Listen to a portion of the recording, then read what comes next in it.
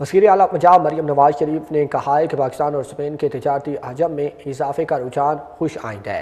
वज़ीर अला पंजाब मरीम नवाज़ शरीफ से स्पेन के सफ़ीर और, और एहसासी कौंसल प्राय स्पेल जलाल सलाहुद्दीन ने मुलाकात की। इस मौके पर पंजाब और स्पेन के दरमियान तजारत सरमाकारी तालीम सकाफत और सेहत के फ़रोग पर तबादला ख्याल हुआ।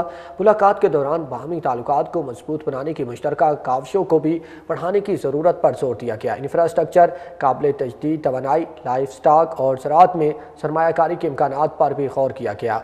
वसी अला मरीम नवाज़ ने कारोबार की तरक्की के लिए सरमाकारों को साजगार माहौल फराम करने के हवाले से पायदार हुकूमती इकदाम से आका किया। अस्पानवी सफ़ीर ने पंजाब में मज़बूत इकतदी शराकत दारी को फ़रोग देने में गहरी दिलचस्पी का इशार किया। इस मौके पर मरीम नवाज़ का कहना था कि स्पेन की बिज़नेस कम्यूनिटी के लिए टेक्सटाइल, फ़ूड प्रोसेसिंग, ज़रात और लाइफ स्टाक में तो सरमाकारी के मौाक़े मौजूद हैं। खैर, मुल्की सरमाकारों को महफूज सरमाकारी के लिए बेहतरीन माहौल फराम किया जा रहा है। उन्होंने कहा कि पाकिस्तान और स्पेन के तजारती अजम में इजाफे का रुझान खुश आइंद है। पंजाब हुकूमत स्पेन के साथ सरमाकारी और तजारती हजम में मजीद इजाफे की ख्वाहिशमंद है। इस मौके पर सीनियर सूबाई वज़ीर मरियम औरंगज़ेब और दीगर हुकाम भी मौजूद थे।